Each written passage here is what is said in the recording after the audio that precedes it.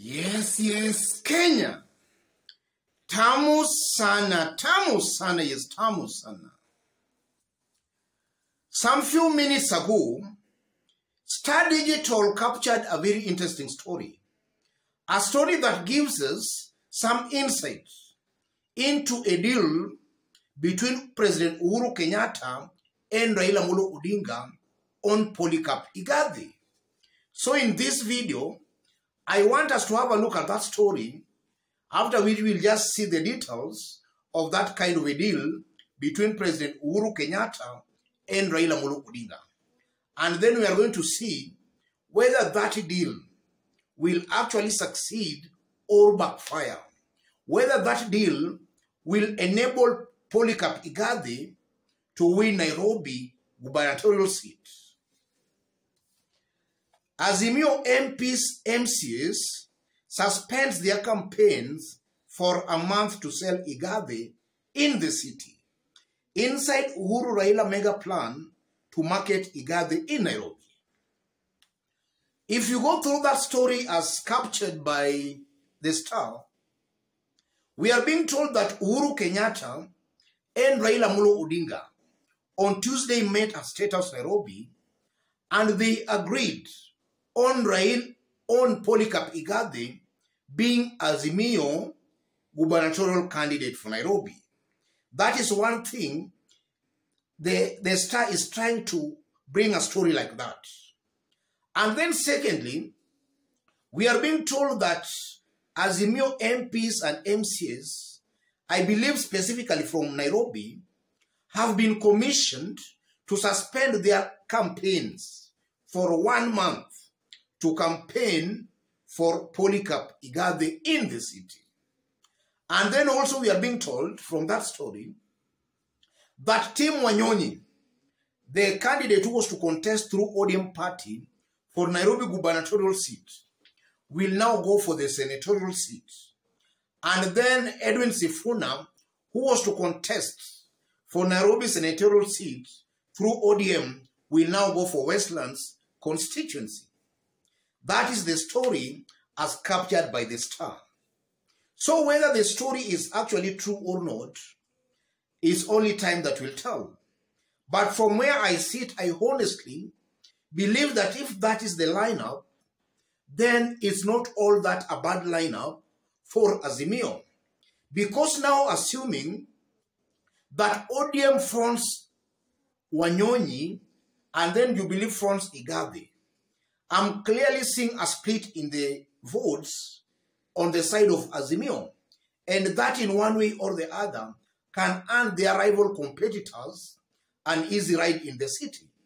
But if Azimio, as a political coalition, can field one candidate for gubernatorial seat, senatorial seat, then I'm seeing Azimio most likely, if they play their cards very well, they might just end up sweeping all those top positions in the city. And then also we are being told that Polycarp Igathe is to be deputized by Philip Kaloki, a Wiper member.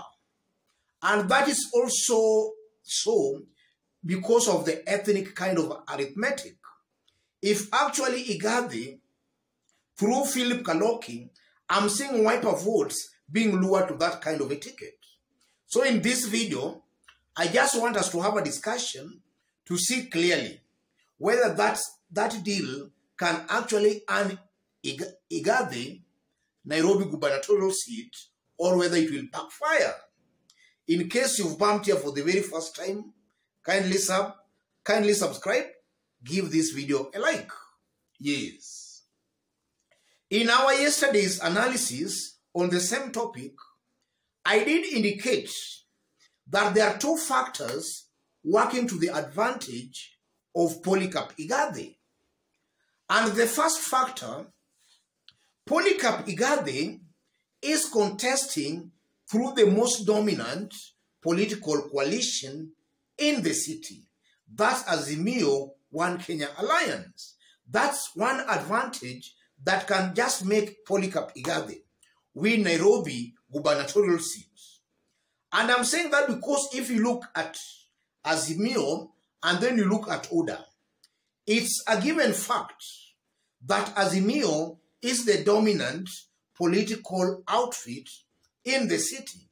And that is so because even without Uhuru Kenyatta teaming up with Raila Molo Odinga, in all the previous elections that have been done in the city, Raila has always been winning the city vote. Raila won in 2013 without Musalia Mudavadi. Raila won the city vote in 2007 without Kalonzo Musyoka. And Raila also won in 2017 with both Kalonzo and Musalia Mudavadi. So Raila without Kalonzo, without Mudavadi, always wins the city vote. And also without Uhuru Kenyatta. But now we are seeing Kalonzo, Uhuru Kenyatta, and Raila Odinga now combining efforts in the city. That only means that Raila's votes in the city can only increase. And that is the kind of advantage actually Polycarp Igathe has. In fact, that is a head start for Polycarp Igathe. And it's a head start because I know as of now, some Azimio supporters might be complaining as a result of that. But you know, three months to the election is a very long period of time. By August elections, the, the Azimio supporters complaining might have, by August, I know a good majority shall have forgotten about eh, their complaints now. When they go to the ballot on, on the 9th of August, I'm seeing a good majority of them voting along eh, party and coalition affiliation. And that's how Polycarp Igathe will just have a head start. And then if you look at Johnson Sakaja, Sakaja is contesting through not a very popular party in the city. Yes, not a very popular party in the city. And then if you consider the supporters of Kenya Kwanza Alliance, a good majority of them are residents from the mountain. And as I talk right now, residents of the mountain I know, they are split.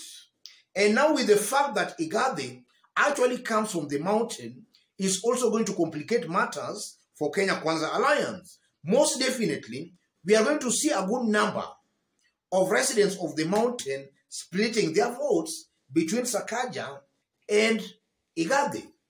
And now they'll just be topping up to the traditional support basis of Raila Molo Odinga.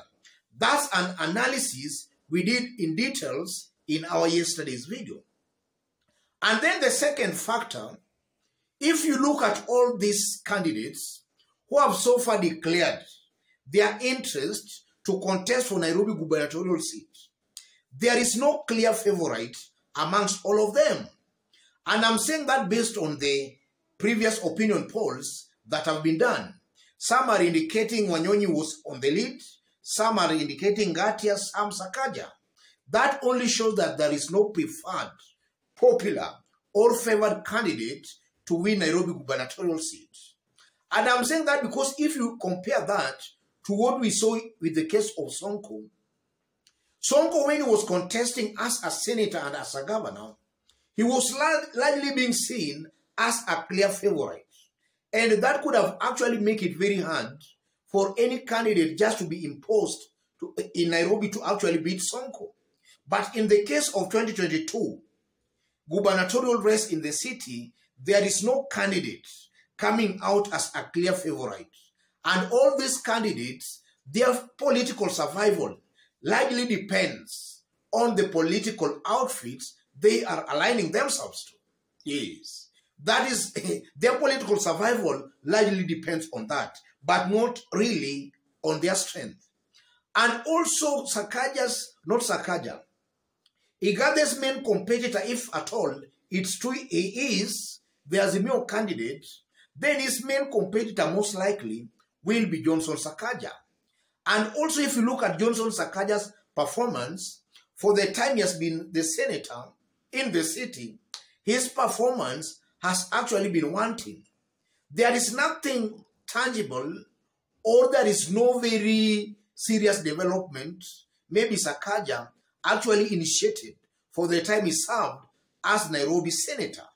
So in terms of development or other performance, Sakaja has no very strong credentials that can endear him to residents of Nairobi. And also, if you look at uh, Mike Mbuvi Sonko, Mike Sonko came through some kind of populist politics. But in terms of delivery, Mike Sonko actually failed miserably as a Nairobi governor. And if you look at Sakaja, and then you look at Igathe, Igathe reminds Nairobians of the work Mbadi did through NMS in the city. In fact, Mbadi is widely celebrated to have done at least some good job in the city compared to Mike Mbuvi Sonko. So Igathe is being seen as another body, while Sakaja is being seen as another typical Kenyan politician in the make of Sonko, who comes with some kind of populist kind of politics, but they don't deliver anything. So also on that basis, I'm seeing Igathe actually getting some traction from Nairobi residents. So I honestly believe that if at all that is the lineup, then most definitely Polycarp Igathe might be just the next governor after Anne Kananu. I'm seeing that kind of a possibility. Otherwise, ladies and gentlemen, just as I did indicate when I was starting, in case you've bumped here for the very first time, kindly subscribe, give this video a like. Thank you. God bless you. God bless Kenya.